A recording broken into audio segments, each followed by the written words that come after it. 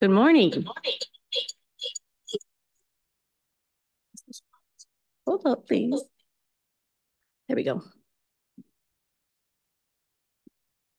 Um, thank you. Would like to call the South Sound 911 Board of Directors meeting for April 17th, 2024 to order. Will the clerk please call the roll? Board Member Bushnell? Excused? He is? Yep, just walked in. Oh, present. He's on the move. He's on. the move. I couldn't see behind our guest. Board Member Case Bolt? Uh, Board Member Dammeier? Excused. Board Member Denson? Board Member Hayden? Here. Board Member Holm? Board Member Holsey? Excused. Board Member Larissella? Vice Chair McGilligan? Here. Oh, Board Member Rumbaugh? And Chair Dorr. Present, thank you. Okay. Were there any public comments received? No public comments received. Okay, and is there anybody that signed up? I don't have any slips. No one signed up today. Anyone in the audience want to make public comment? Okay, we will close public comment. We have a special guest with us before I go to approval agenda. We, the board talked about Emery, the emergency penguin last week or last board meeting, and so Emery has joined us. I want to turn this over to Pat Fisher. Pat was our first South Sound 911 volunteer, and he works with our community relations team, and he goes out with Emery. So I'm going to turn it over to Pat for a few moments and let him talk about what he does. Good morning, everyone. This is Emery. We've spent many hours together. We, uh, we attend many of the, the community events and, and those kinds of things. You know, I just, I just have to say that you got to be careful that you don't get stampeded when you get around with the kids. Just, it just attracts. But, um, these events with Emery, I want to point out the, uh, the bags that you've got here that um, are some kind of sampling of some of the things that we hand out to the kids. We play a lot of games at these, We have, you know, usually a table and and the kids have come filing by and we play a lot of a lot of games with the objective of teaching them about 911, how to deal with, with an emergency, what things to do and not to do. And one of the questions that I often ask is, if you walk in your front door and you see a, a fire, what do you do? Well, they'll always say, call 911. Well, what if it's in the fireplace? And then, then they'll start thinking, you know, those kinds of questions are the things that we ask. I have to tell you also that one of the things that amazed me after doing, I think it's been a couple of years now of these events, is how many kids from, you know, up through age eight or nine, 10 years old, don't know their address when you ask them. And so that's one of the things that we, we focus a lot of uh, teaching, but in a really fun way. We have a lot of games. Amazingly enough, they always win. and, and then we give them sampling of the, some of the toys that you've got in here that we give them. So um, it's a lot of fun, you know, one of those things that, uh, I don't know, keeps me out of the bars, you know? That's important. Thank you. Okay, so we're, Pardon? Do you go to schools? Um, we have that. It depends on your available. I think that there's some of the people in the communications department that could set up something like that if you're interested. Sure. any I, other, I go wherever they tell me. any questions for Pat or Emery? Okay, we're going to take a brief pause and take a pic, the board will take a picture with Emery and we would like to invite the chiefs if they would also like to get a picture with Emery. So we're going to go over here on this blank wall quickly.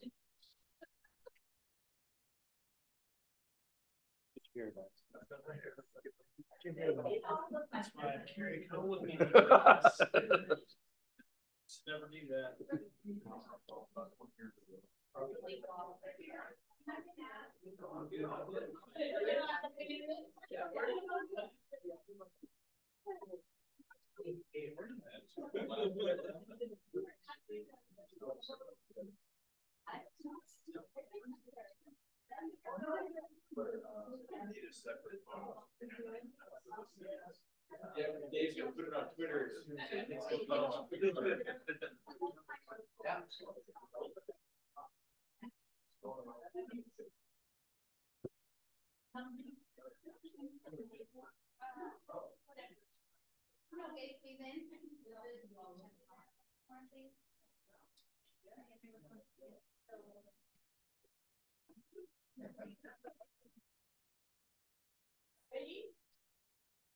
Big cheeseburger, happy one, two, three. And just everyone just in case, one, two.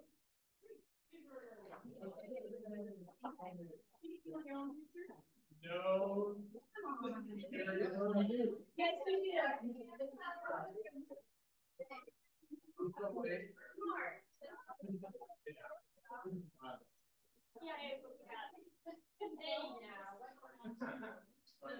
Get in there. Oh, okay, I don't.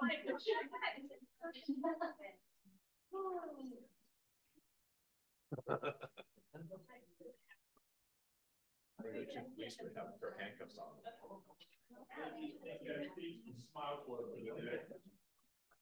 about.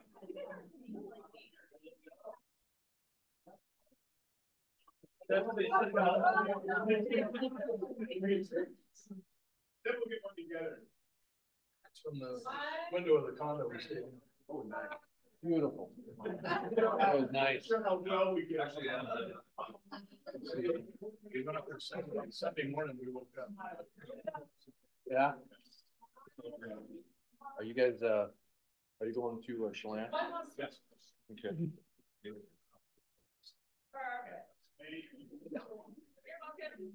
What Chiefs meeting is com- is coming up? Okay, so um, we'll come back to order. Thank you to Pat and Emery. You guys, and I have to say, I've seen the communications team and Emery out in the public and they do a fantastic job. They were just at Central Pierce. Um, Emery wasn't there, but the, the the, why am I drawing a blank? Community relations team was out there and it's so much fun to see people interact with them. So it was great. So I appreciate that team and thanks for having the little having them here. So now we'll move on to approval of the agenda. Do we have a motion? So move. It's it's been moved and seconded. All those in favor, please signify by saying aye. aye. Aye. Agenda is approved. Will the clerk please read the consent agenda? Item number one, approval of the minutes of March 20th, 2024 Board of Directors meeting.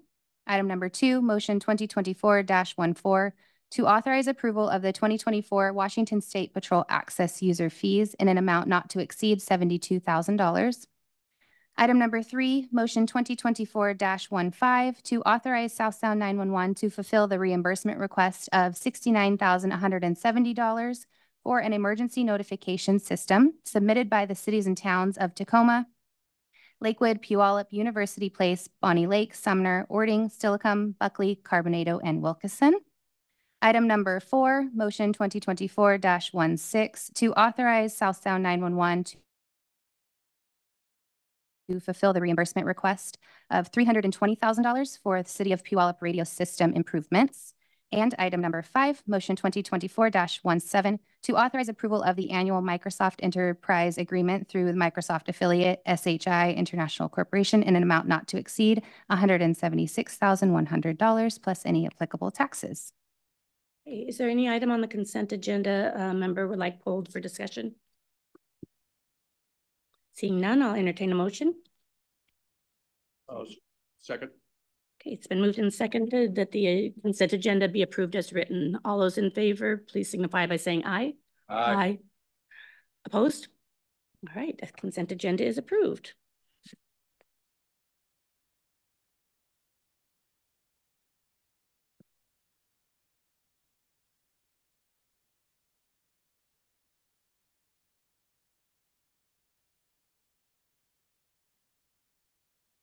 My proclamation? Well, it is, I didn't, this is my, where's my proclamation?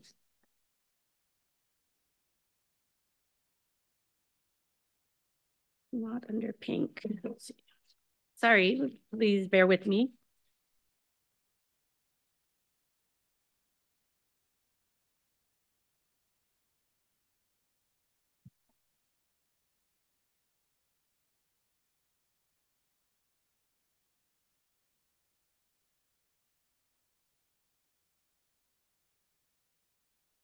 Hey. So next week is Administrative Professionals Week. And we have some fantastic people to recognize. Um, we have Marlena and Jamie that take really good care of this board and make things happen seamlessly. We also have a fantastic finance department, HR department, just the admin staff as a whole. And so I would like to recognize them. Um, and we have a proclamation to read. A proclamation of the South Sound 911 Board of Directors declaring April 24th, 2024 as Administrative Professionals Day and May 8th as Facilities Management Day.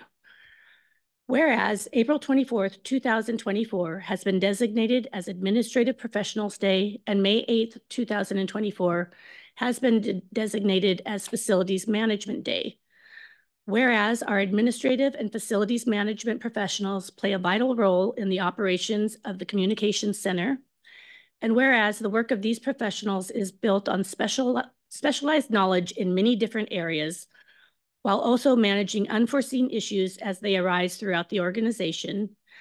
And whereas administrative professionals are valued ambassadors and often the liaison between the organization and its partner agencies and elected officials. And whereas our facilities management professionals work diligently to maintain the safety and environment of the communication center.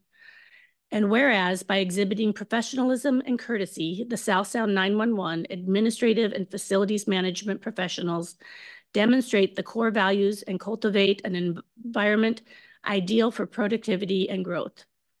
Be it proclaimed by the South Sound 911 Board of Directors, April 24th, 2024 as Administrative Professionals Day and May 8th, 2024 as Facilities Management Day in honor of the men and women who support the mission and operations of the Administrative and Facilities Management Division of South Sound 911.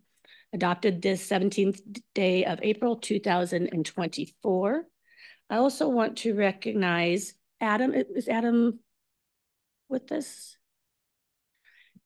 So Adam and Antonio are our facilities um, are the, the facility staff here and while we don't actually, I don't see you, I have heard good things about you and I know that you do a great job and we want to, you to also know that you're very much appreciated. So thank you. Um, and as you know, like I said, Marlene and Jamie take care of us, finance, I don't know, we just have a great staff and they're always available. That's the thing. They pick up their phone, they're available. They do an amazing job. So with that, we will move on. Wow. Oh, yeah, yeah. Yeah, go ahead. You can say something. Go ahead, Sarah. Oh, okay. I just want to say that um, a lot of times, if you haven't been in a support position before, you don't understand how integral that job is to an organization running smoothly.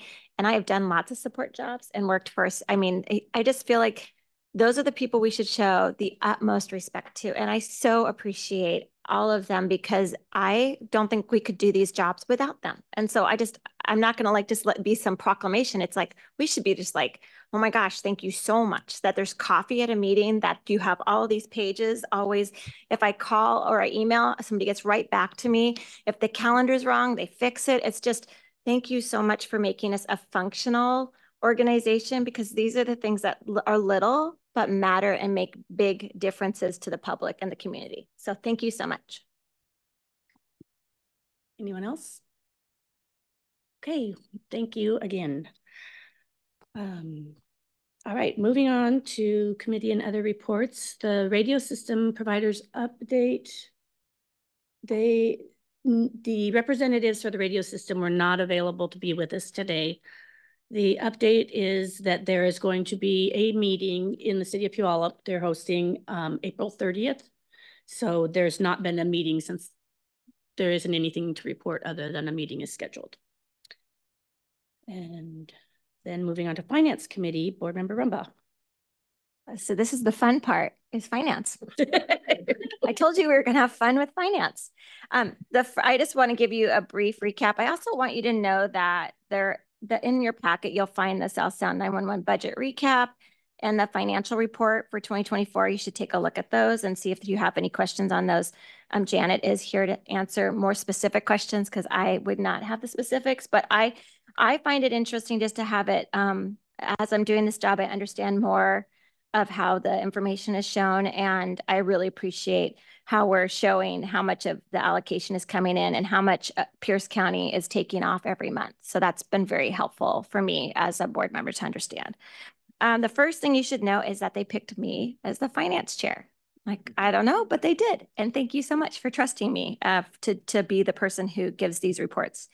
And anyone else who wants this job can like apply next year. So it's a yearly position. Uh, so just some things that you should know about. Um, they they did, the staff did, um, present the, the draft twenty twenty-five budget calendar and the committee discussed uh, key dates such as we should all know that the deadline for reimbursement requests is May first. And so everybody should have gotten information about that. Um, the PSCOC, which I will never remember that it's the Public Safety Communications Operation Committee because that's so long. Uh, we'll be discussing the 2025 budget at their April meeting. I don't, when is the April meeting? Did they have it already or not? Okay, okay, Last yes, week, last so- Friday, okay. So I this don't- actually should say that they did discuss the 2025 draft budget. Was there any, like, any feedback? Good, bad? We have the PSCOC report coming up. Okay, great. That's super. Okay, great. Uh, then the committee reviewed current allocation formulas and the reserve balances that we have available for the twenty twenty-five budget. Other things that you should know about are the records management system, the RMS capital replacement project is being um, previewed by the board of directors in April. And then a memorandum, uh, MOU with the city of Puyallup is on the April consent agenda for approval. That happened already, right? Because we approved the consent agenda. The reimbursement request was for three hundred twenty thousand dollars for radio infrastructure, and it was approved as part of the twenty twenty-four budget. Are there any questions? Janet doesn't need to come up here and look through anything. I wanted to put her on the spot, but no? Okay, Daniel's not here to go through and get grilled, so I thought maybe Janet wanted to, but, all right. Thank you so much. Appreciate you. Well, on that note, talking about getting grilled, Chief Pete Fisher is here with the PSCOC report. You have an opportunity. Good morning, Chair Dorr, members of the board. Uh, last Friday, we had our PSCOC meeting. Uh, we received an update from Director Grady on the nine eight eight program. Uh, currently, there are three people in training and they are anticipated to be operational by May. Um, we were also advised that the FCC is in the rulemaking process to geolocate nine eight eight calls. Uh, we got an update on staffing, which is very positive, so that is good to hear. And then we talked about uh, budget requests are due for reimbursement May first, and we'll be covering those in the June PSCOC meeting. And then we had a detailed report from Deputy Director Hamel on the RMS project and the replacement schedule as well as the budget impacts. And then shortly after that meeting, we did receive our, our estimated allotment. Um, so each of us have that information now, and I'm thinking we'll have a discussion Thursday at our chiefs meeting regarding that um, topic. And then we also discussed uh, potential CAD replacement and the difference of cost for that. Will be no impact on our allotments as police departments, um, as that is covered under um, the Prop One money or the E nine one money. And then uh, additionally, it looks like tentatively, we're planning for an August seventh budget workshop. So I think we're planning to be there and clearing our schedules. And then Jamie did a great job doing our survey results uh, debrief to the chiefs. And with that, that concludes my report, and I'd be happy to answer any questions. Any questions for Chief? All right, Thank you. you.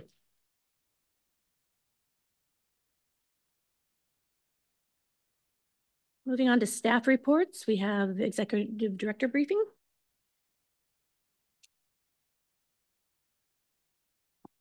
Good morning, everyone. My report starts on page thirty-three. Chief Fisher did a good job of giving you a summary of some of the things that were reflected in both reports, PSCOC and yours. If anyone has questions on the nine eight eight update, there were a couple of items that we wanted to just make sure you were aware of, the staffing increase. As well, don't know if you had the opportunity to watch the Northwest Now segment that they published in conjunction with a report out on nationwide suicide call numbers. They came and interviewed our staff and the Volunteer of America staff. So it was a good opportunity for us to also talk about 988 and 911 co-location. On page 34 of my report, We have included a snapshot of a survey result that East Pierce Fire and Rescue sends out to the community members that have received East Pierce Fire and Rescue services. Everything starts with the 911 call.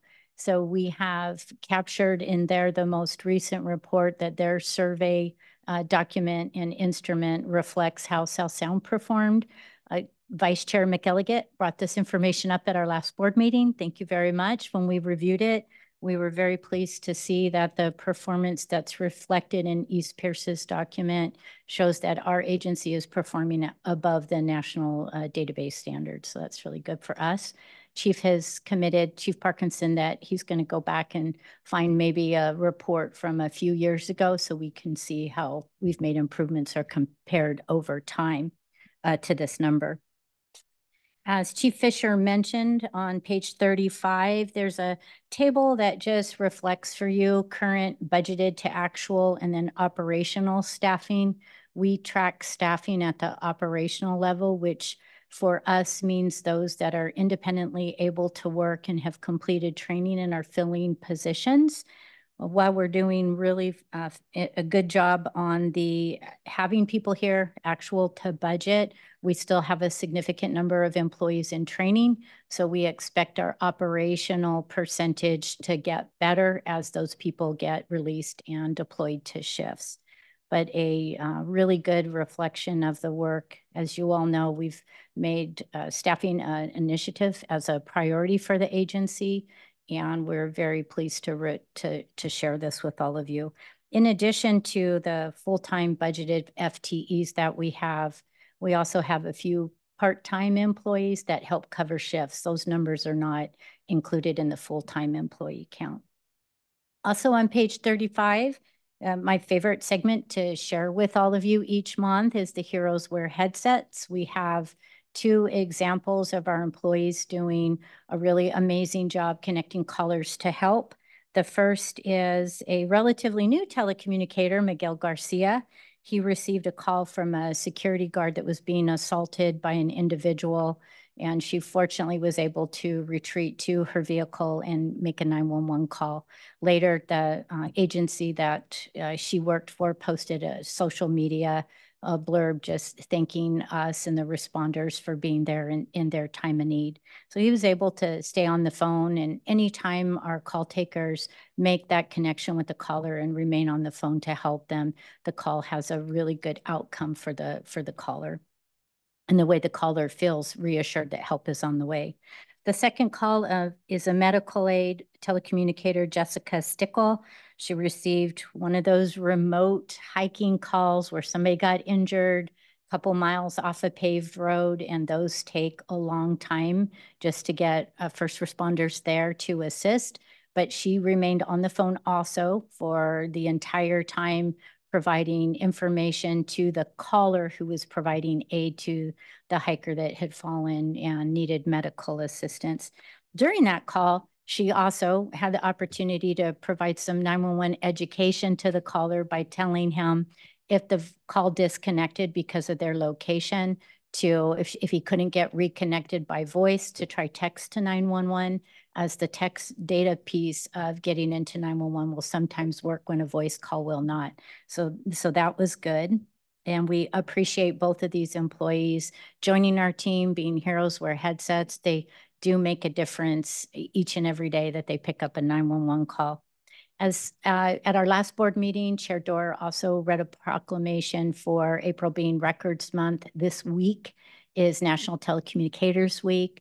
And so it's really important that we continue to report out on the good work that our employees do. Our community relations team went and met with some of the agencies and on our Facebook and social media posts, you can see some of the partner agency representatives thanking the call takers and the dispatchers for the job that they do. Lastly, on page 36 of your report, as has been uh, mentioned, Deputy Director Hamill will be previewing an RMS contract with you uh, for approval uh, at the May or June board meeting, depending upon when we get the uh, recommendation from the law enforcement chiefs that uh, to share with this board. We will be providing another update for them and of materials that has already gone out at the police chiefs meeting this Thursday. And then as has been mentioned, typically we set the first Wednesday of August as the workshop for the finance committee to roll out the budget, the, the next year's budget to the board. That would be Wednesday, August the seventh. However, at our next finance committee meeting, we want to make sure that that date works for all the finance committee members. And um, after that, then we'll be uh, sending out a calendar invite for everybody. So you have that day locked on your calendar. And at our last board meeting, board member Rumbaugh asked about community relation and 911 events that were going on in the community. So if any of you had interest in knowing what in your specific area was going on, you could see and perhaps attend and uh, give another hug or, or high five to Emery if he's if he's there. So you'll see we'll keep track of those in our board report for you so that you can know when things are happening in your area and when South Sound is participating with your agencies. I am happy to take any questions if anyone has questions for me. Board Member Rumbaugh. Hi, Debbie. Thank you so much for um, including those uh, community relation events. That's super. Um, I just, I, I think like, we, uh, it looks like 911 calls are down. Like there's less, call, is that right? Am I wrong? I mean, I was, yesterday the Tacoma Police Department was um, giving their update on violent crime. And when they were showing their data, it was down for the last quarter. So I went and looked on our stuff and it looked like it was down. So I just was wondering if that's the case or am I reading it incorrectly? So from a 911 call answering perspective, the calls are uh, reflected every month in your board packet. This month it's on page 41. Mhm. And we have our call volume listed for March there that Mhm. you can see. It's a little bit above the call volume for February and doesn't track that much lower than what we've seen already from December, the last couple of months. So it's a little bit less than what we saw in January, however, above, uh, above February. But it's not like July of 2023. No, but the, remember But the summer July is our the- busiest yeah, time of the year and then July fourth Right. being our busiest day. So we would expect the call volume to start to trend up again. Okay, all right, thank you. Welcome. Any other questions for the executive director? All right, seeing none. Thank you, Debbie. And next we have Deputy Director Scott Hamill with the support services update. Page forty-eight. Thank you, Chair. Dorr. Good morning, everyone. Uh, you'll find my report on page forty-eight. Wanted to start by highlighting that this is also National nine-one-one Public Education Month. And so in addition to the uh, exciting and uh,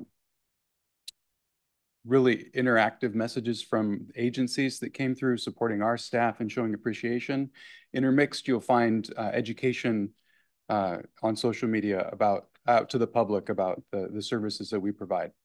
Um, and then really from there, my focus today is to talk about the upcoming law enforcement RMS replacement project and to make sure that we sort of a, have a shared context. This is a, a project and a process that began actually back in 2018. South Sound 911 has been maintaining, managing, developing an in-house RMS system for over 20 years. And back in 2018, a consultant looked at kind of the, the state of the union. Where are we and what are the options that would make sense? And the options really were either hire uh, and onboard a lot more development staff in order to bring this in-house solution up to current standards for software and make it compliant with Windows changes, all of that sort of thing. Um, or look at consumer off-the-shelf uh, products, solutions as, as an alternative. And in the end, it was, it was deemed that there was too much uncertainty, risk, and potential cost increase to bring on the development staff and to do this in-house, and that it made more sense to look at off-the-shelf. And so that began all the way back in 2018. There's been uh, various groups um, comprised of South Sound 911 staff as well as representatives of the customer law enforcement agencies uh, that have reviewed um, some of the, the solutions that are out there. And uh, ultimately, uh, the, the uh, evaluation committee, we have an RMS, there's so many acronyms, right? You're trying to keep up with the acronyms, I'm trying to keep up with the acronyms, and I work here. Uh, so there, there was an RMS evaluation committee that was established. And uh, Motorola Premier One is the, um, the, the recommendation of that group uh, from a consensus basis as the most advantageous solution for, uh, for the, the agencies and South Sound 911 to be considering. And, and so in addition to looking back to 2018, this is a, a great time to kind of pause and, and express appreciation as well to the members of that evaluation committee and to all of the law enforcement agencies that sent representatives uh, in order to uh, view, give input, provide feedback on the, the possible solutions that were being considered. Uh, it has been uh, a very collaborative process. Um, I also want to acknowledge uh, our internal RMS program manager, Doug Bischoff, who wasn't able to be in attendance here this morning with meeting conflicts, but he had such a critical role facilitating uh, the, the review, the interaction with the vendors, taking what he knows and understands the law enforcement community to be saying the needs are, and then translating that from an IT perspective to talk with the vendors. Uh, and then also Assistant Director of Technical Services, Tim Hanna is here today, and he provided uh, leadership to this project. He helped manage, or really he was the, the focal manager of the contract negotiation process. Uh, and we also have representatives from Motorola with us today as well uh, to be here uh, as we present uh, this briefing to the board. Uh, so from there, I'll just pivot to the packet. I don't plan on walking through 100 pages of information with you this morning. I wanted to give you context for the material that's there in case you do have questions uh, that, that come from that. So on page 49, Motorola provided an executive summary document. Uh, and so that is there for, for context. And then on page 57, you, you might recall that we engaged with Federal Engineering as a consultant for the RFP process to help uh, determine the requirements, uh, formulate those into to actual textual requirements for the for the process, and then also help to oversee the evaluation. They provided a report about the RFP process that uh, we took on as an endeavor. And then um, if you're interested, page 97 has uh, a bit of a flow chart of a timeline that we've been through from 2018 to present. But really, uh, if we get to the nitty gritty, that's on page 98. Uh, so on page 98, at the, the top of the page is a table, uh, which is meant to show that for an estimated five and a half million dollar project, uh, 2.25 million has, is already in a reserve fund. And an additional 2.25 million is needed between 25 and 26. Uh, and Chief Fisher, Fisher mentioned that information had been put out to the agencies about what those cost allocations would look like. Uh, and, and so we're, as Director Grady also said, engaged with, uh, with that group, providing information. Uh, and we meet with them tomorrow at the the monthly Police Chiefs Association meeting. Uh, and also on page 98 in the bottom half of the page uh, is the milestone payment uh, process from the contract, which shows where the costs were derived from uh, in the table above. On page 99 is the contract implementation costs on the top half of the page. You might note that it's $4.8 million on that page, and I just said five and a half million. Five and a half reflects contingency as well as tax. Um, and then on the bottom of page 99 shows what the costs would be beyond implementation. Implementation concludes in 2026. So then the table at the bottom of the page reflects 2027 through 2035 annual maintenance costs. Part of our recent process has been to brief out all of the stakeholder groups there's a law enforcement uh, records management system committee that meets on a monthly basis. So we've had conversation with them. There's an LEOPC group. We met with them. And then we met with the PSCOC on Friday. And then as was said before, we meet with the Chiefs Association uh, again tomorrow. So there's uh, drinking from a fire hose, a quick rundown on where, where we are. And with that, I'm, I'm available for any questions. Vice Chairman Gillespie. Hi, Scott. So what is the cost of the program right now that we have? In, And I guess I would reflect back to twenty eighteen again. Uh, and in, in twenty eighteen, uh, as they recommended that we move from continuing to develop uh, a solution at a time when we had increased staff. Uh, we had thirteen on the, the team supporting that, that platform and the applications that relate to it. And that staff is reduced down.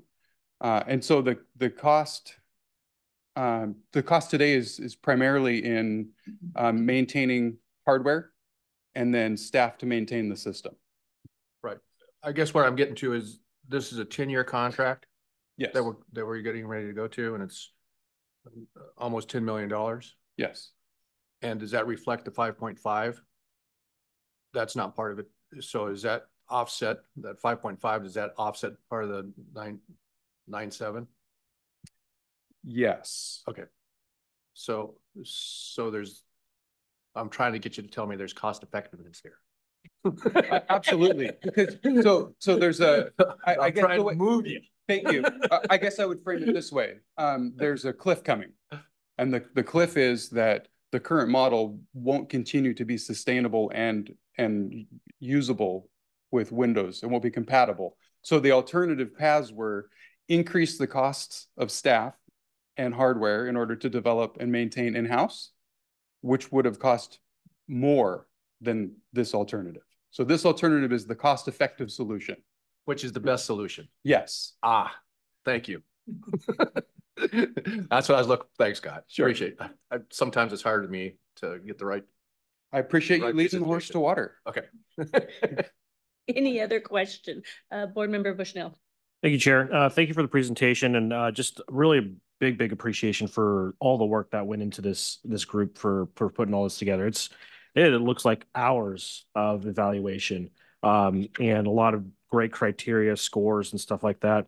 Appreciate the vendors for taking the time to, to, to try and, um, you know, uh, be a part of this process as well. Um, one of my questions is on the subs, it looks like there is sub subscription based. Is that, is that correct? I'm kind of looking at the support services annual pricing summary. Is, so does that, does, does that subscription also include like additional backend support from Motorola? Uh, for, uh, supporting our systems if there's like a hiccup or an issue that we might need extra technical expertise on? Uh, I'm going to turn to Assistant Director Tim Hanna and ask him to join me to help answer that question. Thank you.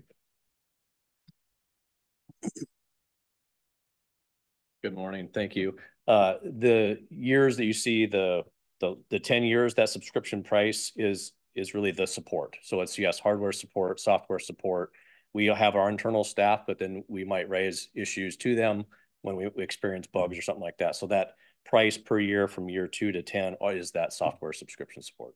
Okay, and uh, in that subscription, if, if there's like radio or not radio, but like system upgrades, uh, would that also be included with that? That is well? part of, that is part of the subscription uh, Okay. service fees. And there is, I think, in uh, one of the years, correct me if I'm wrong, there was also some hardware refresh. Okay, perfect. Um, I think, uh, you know, there's a lot of organizations that have moved to kind of uh, subscription-based models, and I think it's, uh, it, you know, it, it works because it continues to, to provide extra layers of support on top of, instead of just one-time, uh, purchases. So this is, uh, I think, prudent. So thank you. Thank you, Chair. Thank you. Any other questions? All right, thank you, Scott. Thank you. Yeah. Chair comments, lucky for you, I don't have any.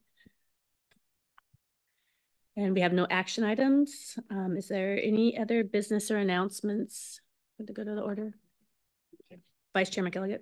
I would, uh, I should have said this about the same time board member, uh, Rumbaugh was talking, but, uh, the facilities maintenance staff as well as our administrative staff, I mean, I hate to say it, the only time you know Marlena's name is when things go bad. Cause that's when they go after and things don't work.